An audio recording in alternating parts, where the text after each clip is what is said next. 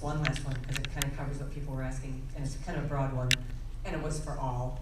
Do you consider the Islamic slash Sharia law, the homosexual, and the atheist agenda as threats to our freedoms of speech and religion? And the person went on to cite a recent law proposed in California where they, that had to do with not being able to have counseling for young people about homosexuality or whatever, but do you have thoughts on these kinds of things as threats to our freedoms of speech and religion?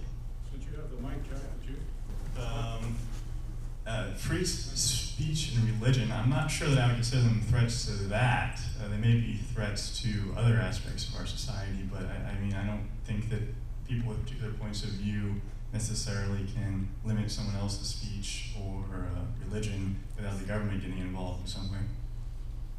That comes at it from different angles, but I, I, I follow religious liberty cases, and I know a lot of you are familiar with the Liberty Institute, and they are constantly fighting infringements of, of, of free speech and religious expression. In our country, the courts seem so often to protect um, uh, the uh, establishment part of it, where they don't want to force, uh, the government isn't forcing a religion, but on the other side, the free exercise gets ignored. And um, I think we have a tremendous problem with the, the interpretation by the courts. They leave that part off, and they tend to let these. Um, oftentimes, you'll see it's atheists that are filing these lawsuits, and, and they try to infringe upon the free exercise of religion by students and by people in this country, which I think is unconstitutional, and it, and it ignores the other half of the, the Constitution.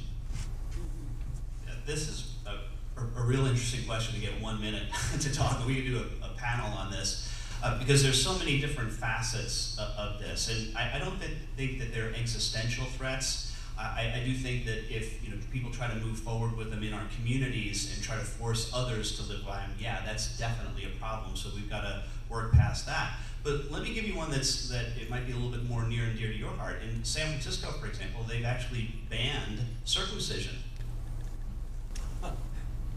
right? And because they say, well, it, it, it's not your within your religious rights to be able to do that because this is the the, the, the child does not have you know is is protected from uh, something that that is a religious institution.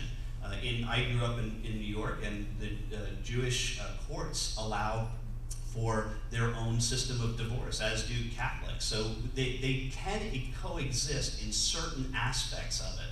The question is, is that when they want to uh, put it on the rest of us, that's where it becomes a major problem. Um, but I don't think it's an existentialist threat, but it's certainly something to, to watch out for. We want to want to keep our laws in place first. Thank you, Ed, and thank everybody for their questions. And thanks to all the candidates, including you, Tainsy. Remember, Tainsy was first up, and we have, of course, Ed, uh, Ken and Jack, thank you guys. Appreciate it.